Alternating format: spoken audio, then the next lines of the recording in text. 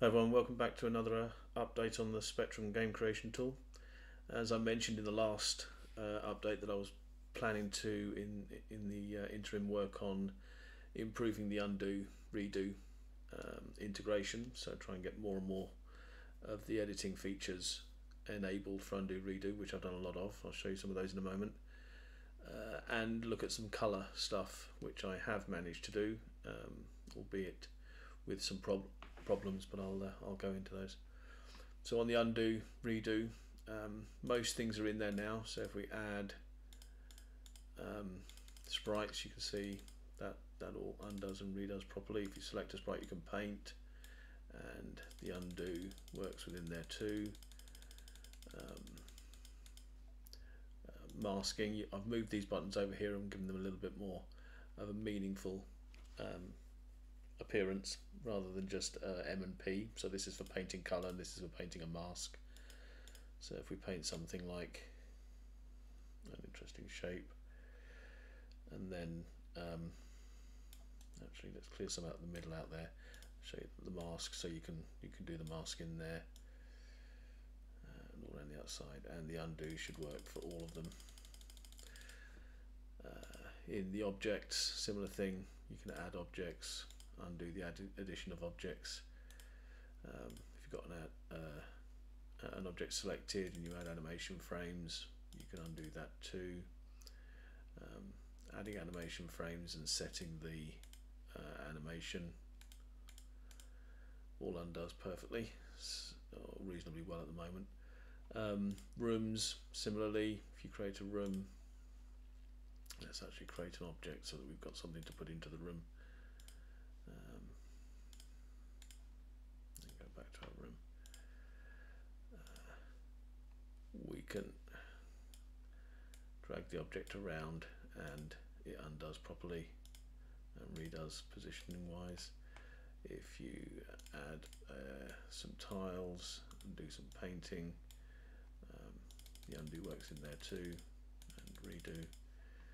Um, I'll get into this in a moment. This is all the color stuff that I was uh, uh, talking about so I've done a lot of changes to support um, coloring uh, the tile maps within the rooms um, maps as well. So if we drag a room, uh,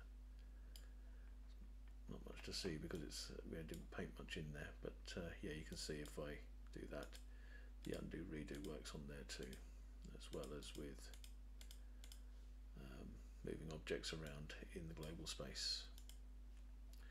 So the only thing that hasn't been uh, enabled for undo yet is the logic. So you can't undo and redo in here. It doesn't work at the moment. But um, I've got some changes I want to make in the uh, logic editor anyway. So I didn't bother putting that in just yet. But that's the only thing that hasn't been enabled. Undo is, is uh, enabled across the board for everything else. So the other area that I've been working on, as I said, is color. So if I open up a um, one that I've made before, um, my standard test scene. You can see we've got some new features in the uh, in the room editor. So these are uh, this is a standard spectrum uh, palette. It's the colours are chosen, I think, to match as close as I can um, the actual spectrum colours. Uh, with the brightness uh, on a separate flag because uh, for various things you can't you can't have different brightness ink and paper. So you apply color ink and paper and then uh, toggle the brightness for the entire cell. So the way it works at the moment is you've got this uh, palette of, of colors and you select them and the ink and the paper color so left and right button chooses the ink and paper color which are uh, displayed here. So for example if I set the ink to red and the paper to yellow and then start painting you start to get um, the colour on the map. So if I just colour this one in quickly,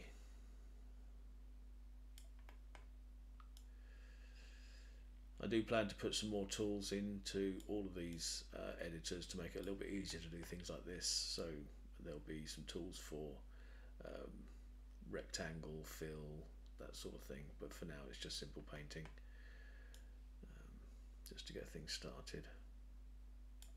So that's now saved. It saves it as a separate element in the room, so it hasn't actually assigned any color to the to the tiles at all. The tiles are still just black and white, but the attribute map is stored separately. This means I can, in the future, enable um, multiple different attribute maps for uh, the same room, so you can reuse the room with different colors uh, very efficiently.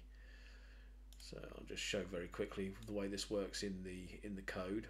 So where you had before in each room, you've got this map, which is uh, a string of uh, the tile rows, which are used in the engine to print the, the tiles, the UDGs. Uh, we've now got this additional one, attributes, which is a bunch of codes that set the colours um, on, on each cell, background, foreground colour and the brightness. So when we export this,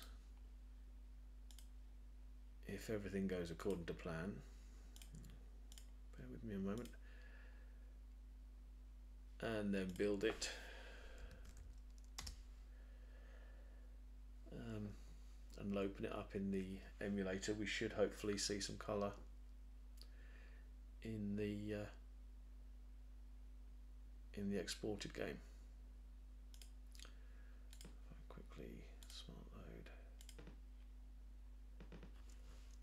There we go. So now we have the ability to do colour. It does do brightness. I didn't show brightness there. I'll show it in a moment, but um, that, that should all work. And as I say, the idea is to keep it as efficient as possible by keeping the attribute map separate so I can reuse that room or you can reuse that room in another place with maybe purple bricks or, or whatever. So just to quickly show, if you switch the um, brightness flag on and then paint over, you can see it paints in bright. Uh, might not be easy to see on the on the video, but it, it is working.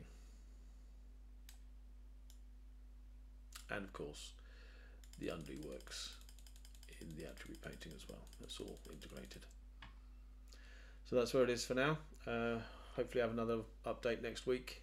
Um, planning to do a bit more on maybe colour with sprites um, and think about the uh, the idea of having different colour maps for the room. Um, other than that, I'm not sure where I'm going to go next, but uh, I'll, I'll be back next week. Don't forget to subscribe if you want to keep keep up to date with what I'm doing on this and uh, and be informed when the new new videos come out. Thank you.